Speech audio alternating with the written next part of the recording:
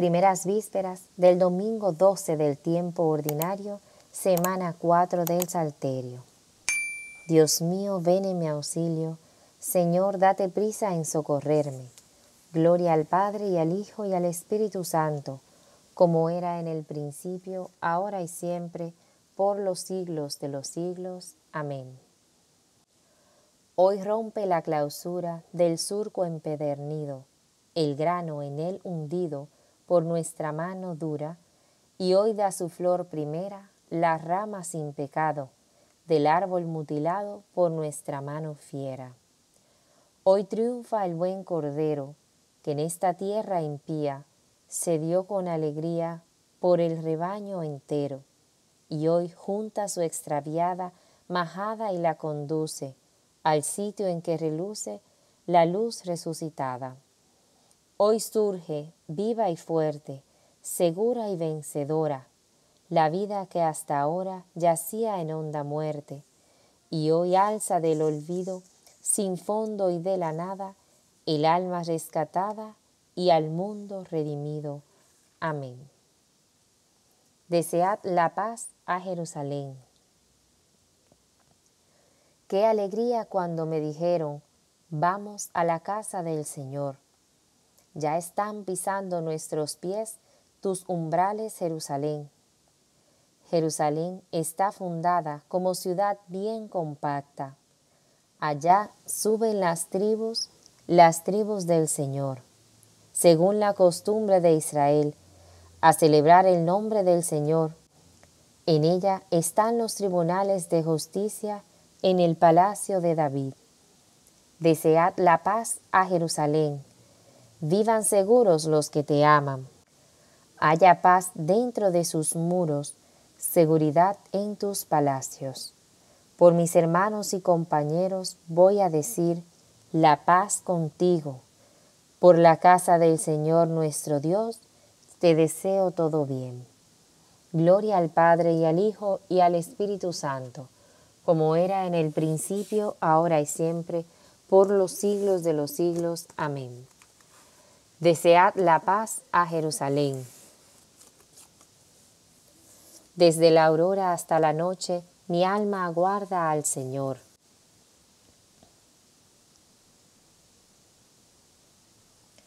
Desde lo hondo a ti grito, Señor. Señor, escucha mi voz. Estén tus oídos atentos a la voz de mi súplica. Si llevas cuenta de los delitos, Señor, ¿quién podrá resistir? Pero de ti procede el perdón y así infundes respeto.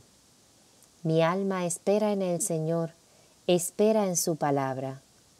Mi alma aguarda al Señor más que el centinela la aurora. Aguarde Israel al Señor como el centinela la aurora, porque del Señor viene la misericordia la redención copiosa, y Él redimirá a Israel de todos sus delitos. Gloria al Padre y al Hijo y al Espíritu Santo, como era en el principio, ahora y siempre, por los siglos de los siglos. Amén. Desde la aurora hasta la noche, mi alma aguarda al Señor. Al nombre de Jesús toda rodilla se doble en el cielo y en la tierra. Aleluya. Cristo, a pesar de su condición divina, no hizo alarde de su categoría de Dios. Al contrario, se anonadó a sí mismo y tomó la condición de esclavo, pasando por uno de tantos. Y así actuando como un hombre cualquiera, se rebajó hasta someterse incluso a la muerte y una muerte de cruz. Por eso Dios lo levantó sobre todo y le concedió el nombre sobre todo nombre, de modo que al nombre de Jesús toda rodilla se doble en el cielo, en la tierra, en el abismo, y toda lengua proclame, Jesucristo es Señor, para gloria de Dios Padre. Gloria al Padre y al Hijo y al Espíritu Santo, como era en el principio, ahora y siempre, por los siglos de los siglos. Amén. Al nombre de Jesús, toda rodilla se doble en el cielo y en la tierra. Aleluya. De la segunda epístola de San Pedro. Tenemos confirmada la palabra profética a la que hacéis bien en prestar atención, como a lámpara que brilla en lugar oscuro, hasta que despunte el día y salga el lucero de la mañana en vuestro corazón.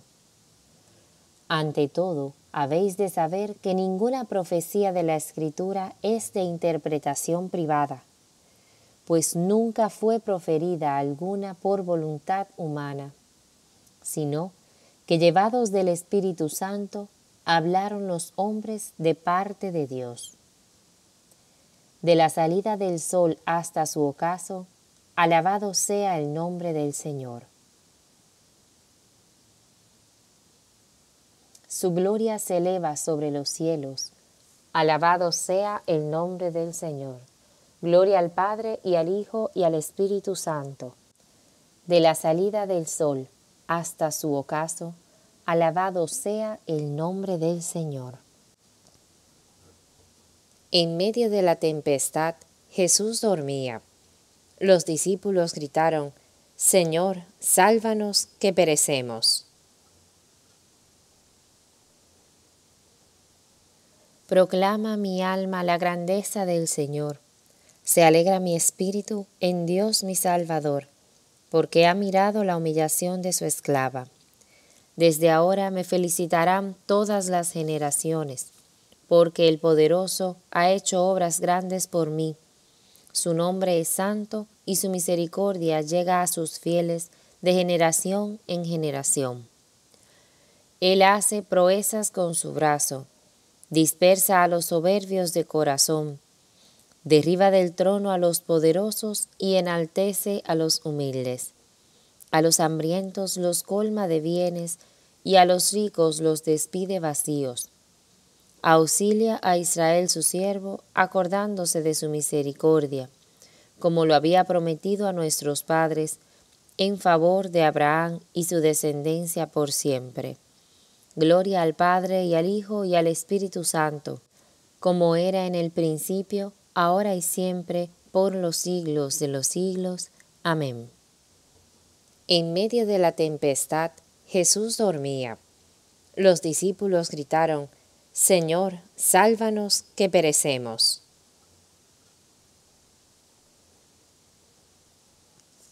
Invoquemos a Cristo, alegría de cuantos se refugian en Él, y digámosle, míranos y escúchanos, Señor.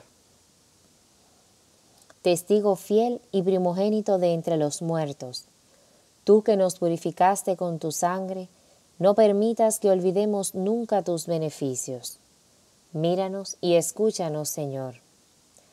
Haz que aquellos a quienes elegiste como ministros de tu Evangelio sean siempre fieles y celosos dispensadores de los misterios del reino.